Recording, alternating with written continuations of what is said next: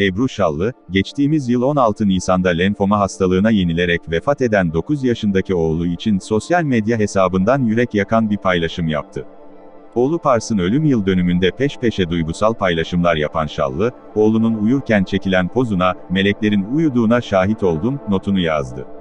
Haberimizin detaylarına geçmeden önce videonun aşağısından 2 saniyenizi ayırıp kanalımıza abone olursanız ve beğenirseniz çok sevinirim. Şimdi ise haberimizin detaylarına geçelim. Ebru Şallı'nın Harun Tan ile evliliğinden dünyaya gelen 9 yaşındaki oğlu Pars, geçtiğimiz sene 16 Nisan'da 2 yıldır mücadele ettiği lenfoma hastalığına yenilerek hayatını kaybetmişti.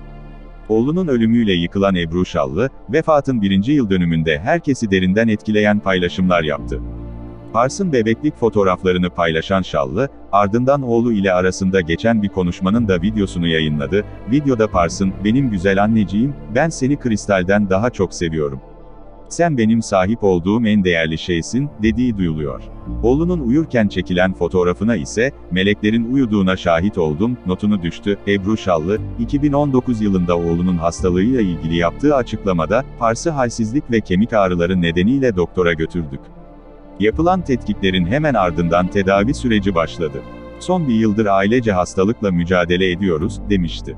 Geçtiğimiz haftalarda Çağla Şikel'in Fox TV'deki programına konuk olan Ebru Şallı, canlı yayında oğlundan bahsederken duygusal anlar yaşamış, iki anne karşılıklı gözyaşı dökmüştü. Yüce Allah sabırlar versin diliyoruz. Değerli izleyicilerimiz şimdilik bu videomuz burada sona eriyor, gündeme dair gelişmelerden ve bilgilerle dolu videolardan haberdar olmak istiyorsanız kanalıma abone olabilirsiniz ve bildirimleri açabilirsiniz, videoyu beğendiyseniz beğenmeyi ve videoya yorum yapmayı unutmayın lütfen. Sonraki yeni videolarda görüşmek üzere kendinize iyi bakın ben Ali Cenap. Bizleri dinlediğiniz için teşekkür ediyoruz.